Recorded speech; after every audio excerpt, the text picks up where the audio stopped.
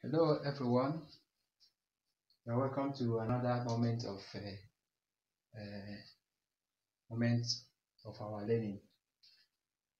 This time we are going to look at a question that has to do with rate of reaction or rate of chemical reaction.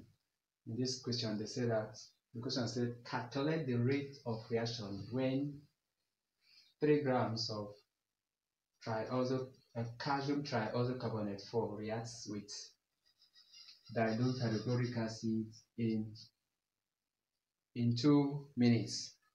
Now, and to do this now, we know that rate of rate of reaction is equal to can be mass reacting mass is reacting mass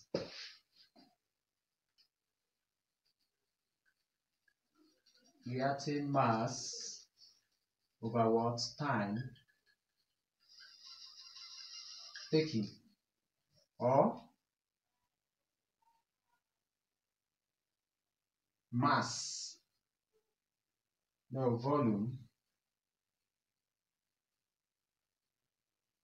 Of the products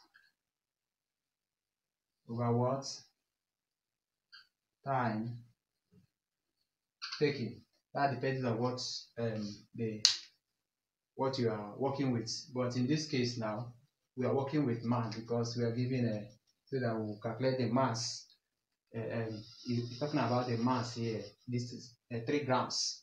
This is three grams of tri calcium trioxo uh, carbonate 4 that reacts in, in, in, in, two, in two minutes.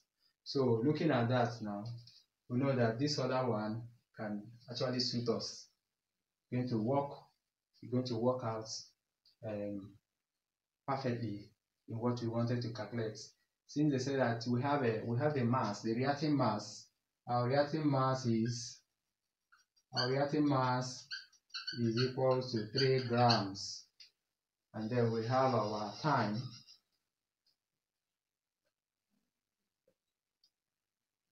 time taken is what two minutes. Two minutes.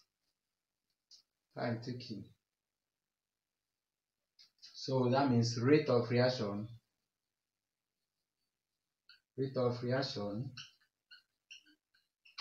is equal to 3 over 2 that will give us 1.5 gram per minute. All right thank you so much for this great time and we're looking forward to read your comments and also we'll, we'll like you to subscribe and also like make your comments your comments is very important it's very important to us so that we know how we can make things better. Thank you so much.